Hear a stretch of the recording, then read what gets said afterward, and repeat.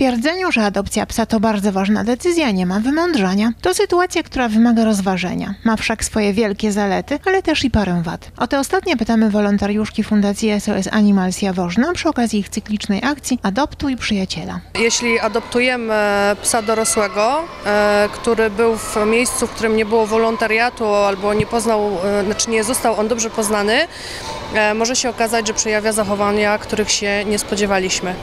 Dlatego ważne jest to, żeby przed adopcją e, przyjechać na zapoznanie z takim psem, e, usłyszeć od opiekunów, jaki ten pies jest, jakie nosi ze sobą cechy charakteru e, i wtedy podjąć, żeby podjąć świadomą decyzję. Każdy pies ma wbrew pozorom psychikę bardzo delikatną. Porzucenie przez właściciela to dla niego powód do smutku i psiej traumy. O tym musi pamiętać nowy właściciel takiego psiaka. Fundacja SOS Animals wspiera nowych właścicieli w zapanowaniu nad takimi depresyjnymi adopciakami. Nie wydajemy do adopcji psów, które są po bardzo dużych traumach. One najpierw przechodzą resocjalizację, e, najpierw budujemy w nich jakiś system, który pomoże im się odnaleźć w ludzkim świecie, e, a potem dopiero szukamy dla nich odpowiedniego domu.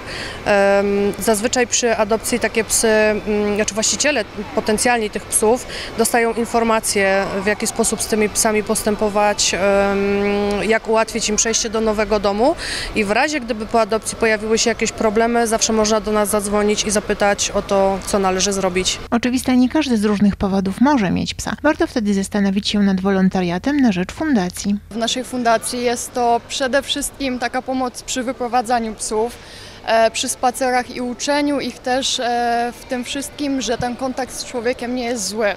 E, Ze względu na to, że najczęściej do nas trafiają psy, które tego kontaktu nie miały, czyli są to psy dzikie. Jedno jest pewne, każdy psiak kocha swego właściciela bezwarunkowo. Dobrze by było, żeby ich właściciele tę miłość odwzajemniali. Znamy takich, którzy o swoich czworonogach mówią, że to najpiękniejsze i najukochańsze stworzonka. Nigdy przez wrodzoną grzeczność temu nie zaprzeczamy.